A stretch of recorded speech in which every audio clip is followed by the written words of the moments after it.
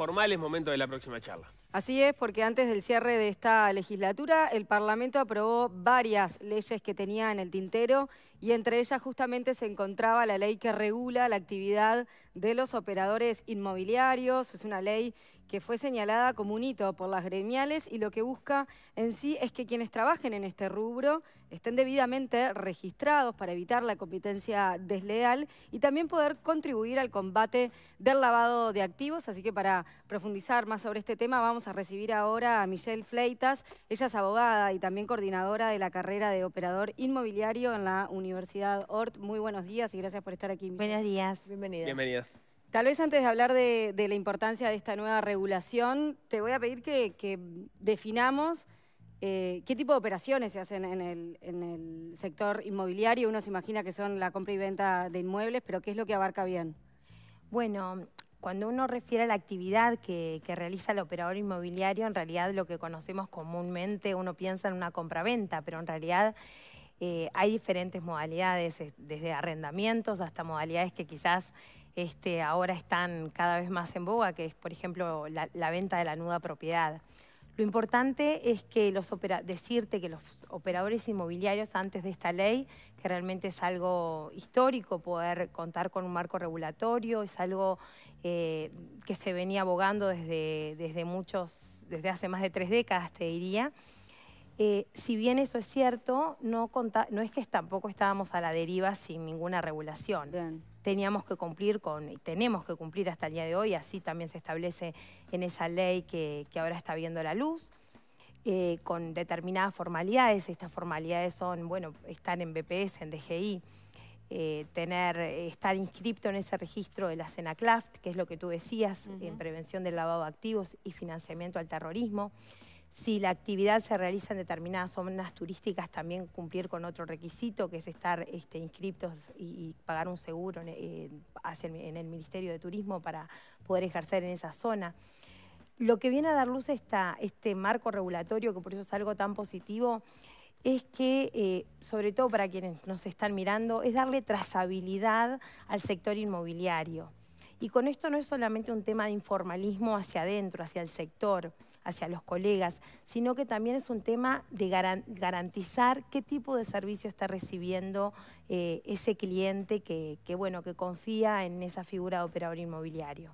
Acá la duda que se me genera es cómo, entran acá los alquileres, que es tan común ahora hacerlo a través de plataformas, como voy a decir Airbnb, pero debe haber otras más. ¿Eso entra dentro de la regulación y si entra, cómo? Y bueno, hay un gran desafío que es combatir la informalidad, ¿no? que eso es uno de los grandes, eh, digamos, los grandes eh, proyectos y aún sigue siendo un gran desafío, por más que esté el marco regulatorio, cómo combatir la informalidad. Eh, se va a crear un registro para los operadores inmobiliarios, para que mm, estén dentro de ese registro y, y en esto que yo te comentaba de la trazabilidad de saber quién está detrás de una operación inmobiliaria. Y en referencia a lo que tú decís de las aplicaciones, el mismo día que se se votó esta ley, también se votó otra ley que eh, habla un poco sobre el tema de, bueno, pasado determinado lapso de tiempo, eh, también van a tener que cumplir con determinadas formalidades. O sea, el informalismo no solo se ataca con esta ley, sino que se está eh, procurando que se ataque desde diferentes lugares para que justamente todos podamos Acá lo que hay de, fondo, el espíritu de todo esto, es que todos podamos contar con las mismas reglas de juego, ¿no? O sea, tú fíjate que una persona que está formal, por más que sea una empresa inmobiliaria pequeña, tiene una serie de costos fijos que son importantes, que muchas veces hacen la viabilidad de ese negocio. Entonces, eh, cuando tú tenés una persona que está completamente informal, que no, no tiene ningún pago de estas obligaciones, recordar también que, los, como te decía, los operadores inmobiliarios somos sujetos obligados para, todo lo que tiene que ver materia de lavado de activos. Entonces, este, inclusive en, esta, en esta ley se establece que para ese registro vamos a tener que hacer el pago de mil UI por año, que quizás ahora un poco en números serán unos 6.200 pesos uruguayos, pero eh, hay que volver a registrarse cada dos años. Son costos fijos que se siguen sumando, entonces este, por eso es que queremos de alguna manera tratar de igualar este, las reglas del juego. Por supuesto que, como toda ley tiene matices, hay algo muy importante que también no puedo olvidar decir, este, que es que ¿Cómo va a bajar esto a tierra? ¿no? Esto no solamente esta ley, las leyes tienen este, decretos reglamentarios que las bajan a tierra muchas veces en pormenores de cómo se operan. Entonces vamos a ver, está todo muy en pañales, si bien hay que celebrarlo, todavía queda un largo camino por, por transitar. ¿Y tienen medida cuál es la informalidad en los actores inmobiliarios del sector? Bueno, se habla de que es una informalidad, muy fuerte, eh, se habla entre un 40 y 50%, pero bueno, parte también del problema es que no tenemos un observatorio importante para poder recabar datos.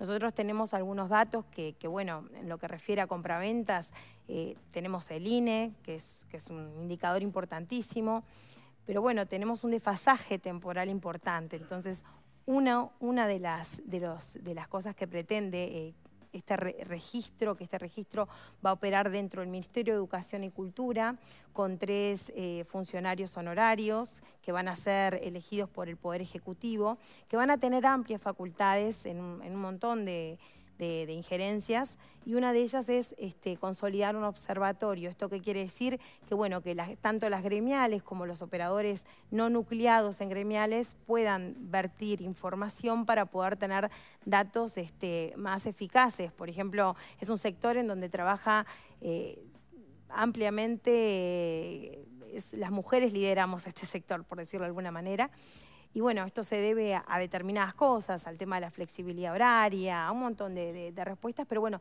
tener datos que realmente sean fehacientes va, a darnos muchísima más información y en todo lo que tiene que ver con el sector inmobiliario, la información realmente te, delimita entre hacer este, una buena decisión, hablando de compra-ventas, una buena compra o no, o sea que va a ser algo muy importante. Ahora, el concepto de informalidad eh, está vinculado a inmobiliarias que no estén debidamente, formalmente registradas, no a un propietario que dice dueño alquila, dueño vende y hace su transacción por fuera de una inmobiliaria. Eso es algo que, me han consultado estos, estos días y, y llevar total, total tranquilidad que el dueño vende y el alquilo vende va a poder seguir estando por parte del propietario porque el derecho de propiedad no está sesgado en ningún, en ningún momento, en ningún articulado. La idea no es esa, la idea es mm, quizás mirando más hacia, mirándolo desde puertas hacia adentro del sector, tratar de que todos juguemos con las mismas reglas del juego. Y mirándolo desde el lado del cliente, saber también quién está detrás de esa operación va a ser algo muy positivo. ¿Por qué? Porque bueno, esto va va a mitigar todo lo que tiene que ver con, incentivar estafas. Con, ustedes saben que a veces, sobre todo en, verano, uno escucha, bueno, seguía esa propiedad y de repente ya estaba alquilada o situaciones espurias que realmente hay que tratar de, si bien yo soy de la idea que no todo es a través de la regulación jurídica, también están las reglas de, mercado y uno no las puede pasar por alto, pero es importante acompañar, acompasar todo esto de, bueno, cómo yo puedo de alguna manera en un marco regulatorio tratar de que no, no, no, no, este, no dejar existir este informalismo. ¿En qué medida quedan eh, comprendidos dentro de este nuevo marco regulatorio el alquiler a través de plataformas digitales? Bueno, eh, se va a poder eh, seguir utilizando las plataformas digitales. Lo que pasa que, bueno, eh, a veces las plataformas digitales se utilizan de manera encubierta con operadores inmobiliarios tradicionales, en realidad, en donde la modalidad es la misma con la que trabajamos los operadores inmobiliarios tradicionales, que es que tenemos 10, 15 propiedades en una cartera de, de trabajo, y en realidad ahí es lo que yo te decía, no estaríamos todos contando con las mismas reglas del juego. Por supuesto que el tema de la informalidad, eh, a mi entender... Eh, o sea, la ley, entiendo, no quedan comprendidos. La idea es que queden comprendidos, pero lo que te iba a decir ahora es que, a mi entender, eh, la informalidad, y por más que yo por una ley pueda poner en, un articulado que, que obviamente no lo fomento, que lo voy a sancionar, hay que ver también cómo se va a controlar esto, ¿no? esto es algo importantísimo. Es más importante, te diría, que quede plasmado en la ley, qué mecanismos de control voy a tener para que ese informalismo fehacientemente eh, sea tal y pueda ver la luz eh, en que después pueda repercutir en, esto que te decía, ¿no? En que el formalismo sea la, digamos, la, regla principal. Michelle Freitas, abogada y representante del sector inmobiliario, te damos las gracias por esta entrevista. Gracias a ustedes. Muchísimas gracias. ¿eh? gracias.